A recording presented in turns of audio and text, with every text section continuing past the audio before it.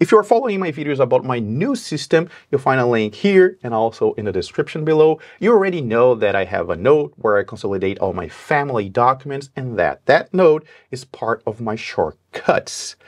The plan today is share with you an updated version of a video uh, that I published a long time ago showing you how I organized my documents in Evernote, how this documents system work in my Evernote. For that, we'll use my second account and of course, uh, no real documents, no real dates, no real numbers. Okay, let's take a look at it. In the past, I would have a notebook for each family member and all those notebooks inside a stack. I now have a single notebook, a family notebook, and you soon understand why I changed everything. So let's go to the family notebook, and here we already have the documents uh, note, the one that consolidates everything, and this note is a shortcut, add to shortcuts. So it's the second item here. This is just a matter of preference. This is how I, I like it. And it also has a pin. So this is pin to this notebook. This will make this note be the first note in case I decide to open the family notebook. One thing you'll notice here is that I created several different paths to get to the document. The idea is that I will always be able to get to, uh, to find a document no matter the path I choose. So the first thing I did was move all the documents from those other notebooks into this one. But since this is not a real account, we have to create some of them here. For example, let's create here ID. And one thing I do here is add my name. Again, I'm just creating multiple ways to know what that node is and to get to that node. And don't worry, I won't drag you through the creation of all the documents. I just want to show you what I'm doing. So this is, uh, uh, this in a real account would be the, the real document. I scan of that document. And then here, this is my name and documents. Okay. One thing you might be asking is why I choose the plural word documents instead of document. Well, this is just, again, a matter of preference. It's something, if I click on the tag, it will show me documents, a list of documents, not a single document, okay? I forgot to do one thing here. Every document that has a number and expiration date will have the, that information uh, in the title. I, I, I don't add the, the exact date, just a year. Again, all these details that I'm adding everywhere are here to make the information available no matter how I get to the document. You, you soon see that the many path to that document. So from here now, if I need to filter my documents, I can just type my name and I have a list of my documents. But why I'm adding the tag documents if almost, maybe all the notes here are documents. The thing is, one day this document will expire and I'll move it to the timeline. And when I move it to the timeline, I want to know that that is a document. I may need to filter all the documents I have in the timeline. If you don't know what the timeline is, you have to watch the other videos. Okay, now let's create the note where I consolidate everything.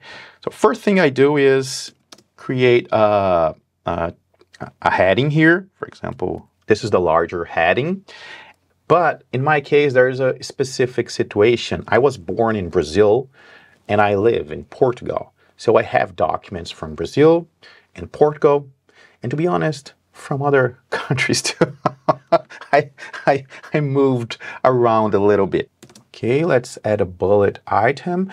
One option here would be simply drag the title, the note, into the list. That will work if I click here I'll go to that note. But I don't want this because I want to have access to the number. Many times, all we want is to copy and paste the number. So this will not work. Again, this is up to each one of you, but in my case, I know that I need the numbers a lot. So that's why I spent a little time organizing things in a way that it would be easier to copy and paste the number. So this is what I did. ID, uh, the number of the ID in her case is 321. And then you can come here, right click, copy internally. You, of course, you can use this crazy shortcut here if you can memorize it. and then I would select only the name of the document. You can use Command K on Mac. I think it's Control K on Windows, not sure, and paste it. If you don't want to use the shortcut, just use this little chain here.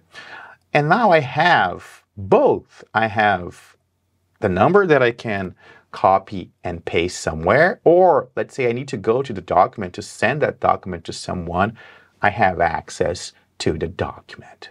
This is more like how it looks in real life in my real account. Uh, the emojis are here to make it easier to find the information.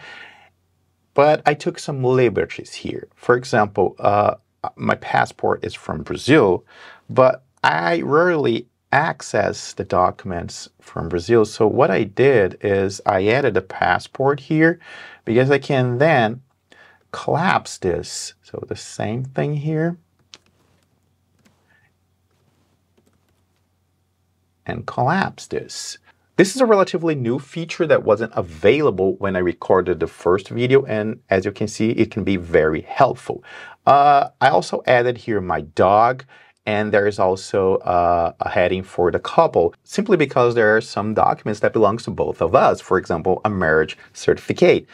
Now, there are two last steps here. The first one is pin this to home because although we don't have easy access to home on our mobile devices anymore, I still use Evernote Home when I'm on a desktop. I use it a lot. So we'll replace this subscribe one here, but please subscribe if you're not subscribed yet. So let's go to Home. And now if I'm here, I have access to that. And as you can see from here, I can highlight the document number, copy and paste it anywhere I need to paste that number. Again, it's all about having many ways to get to the information. As for why I replaced multiple notebooks with a single one, it has everything to do with the note consolidating all the information. It is so good that I was never going to the notebooks. And with the tags, I can filter them in the family notebook. Okay, let's talk about the last step here. But before that, this note, my real note, has many more items. It goes beyond documents. There's a lot of information that I, I, I, added to this note, but this video was already too long, so I created a companion video. If you are a Patreon or a YouTube member, you'll find a link uh, in the description below. Okay, the last item is go to Evernote on your mobile device. If you use a, a tablet and a phone, you, you, should do it on both. Go to Evernote, go to the family notebook. This is another uh, detail before I had to remember to make all the notebooks offline. Now it's only one notebook. It simplified things. So go to the notebook or the notebooks and tap the three dots at the upper right corner and turn on the available offline option. This will download all the documents, all the information of that notebook to your device. That might take a while depending on the number and size of the documents, but do that. This is how you always have access to the documents, even if you don't have an online connection. That's it for this one. If you found it helpful, I'd appreciate a thumbs up. And if you like what I do here in the channel, please subscribe. It helps a lot. Thanks for watching. See you soon.